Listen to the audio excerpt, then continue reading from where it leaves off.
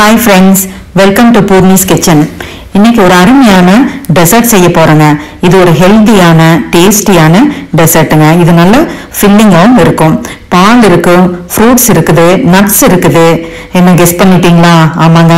இது வந்து fruit custard ரொம்ப யம்மியான எல்லாத்துக்கும் பிடிச்ச மாதிரி ஈஸியாக வீட்லேயே செய்யலாங்க. வாங்க இப்போ இதுக்கு என்னென்ன தேவை அப்படின்னு பார்க்கலாம் இப்போ ரெண்டு கப்பு பால் எடுத்துருக்குறேங்க இப்போ கஸ்டர்ட் பவுடர் ரெண்டரை டேபிள் ஸ்பூன் எடுத்திருக்கேன். சுகர் அரை கப் கிரேப்ஸு பாதாம் கட் பண்ணி வச்சிருக்கிறேன். பேர்ச்சம்பழம் அதுவும் கட் பண்ணி வச்சிருக்கிறேன். மாதுளம்பழம் தொளிச்சு வச்சிருக்கிறேன். ட்ரை கிரேப்ஸ் ஆப்பிள் இப்போ இந்த கஸ்டர்ட் பவுடர் எல்லாத்தையும் பால் கொஞ்சம் ஊற்றி நல்லா கலக்கிடலாங்க நல்லா இந்த லம்ஸும் கட்டியும் இல்லாமல் நல்லா கலக்கிடலாம். இப்போ ஒரு பேனில் அந்த பாலை ஊற்றி ஸ்டவ் ஆன் பண்ணிடுங்க அது கூட அரை கப் சுகர் அதையும் போட்டு நல்லா மிக்ஸ் பண்ணிடுங்க இப்போ பால் கொதிக்கட்டும்.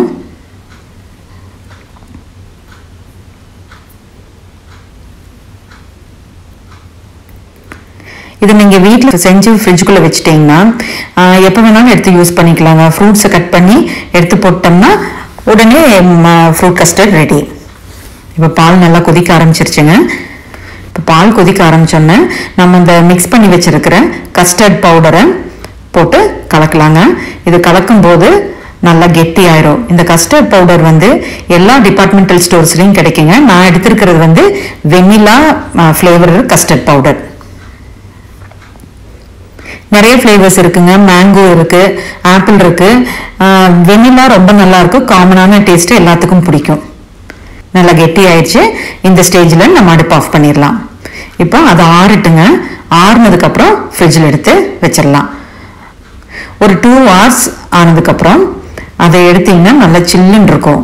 இப்போ நம்ம சர்வ் பண்ணுறதுக்கு ரெடி பண்ணிடலாம். எடுத்து வச்சிருக்கிற மாதுளம்பழம் அது அந்த க்ரீன் கிரேப்ஸு நீங்கள் கூட வந்து பிளாக் கிரேப்ஸ் இருந்தாலும் போட்டுக்கலாம். ஆப்பிள் பாதாம் கட் பண்ணி வச்சிருக்கிறது. டேட்ஸு ட்ரை கிரேப்ஸ் இப்போ இது எல்லாத்தையும் போட்டுட்டு நல்லா மிக்ஸ் பண்ணலாங்க.